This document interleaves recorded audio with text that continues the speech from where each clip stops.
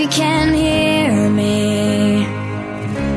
I remember it clearly.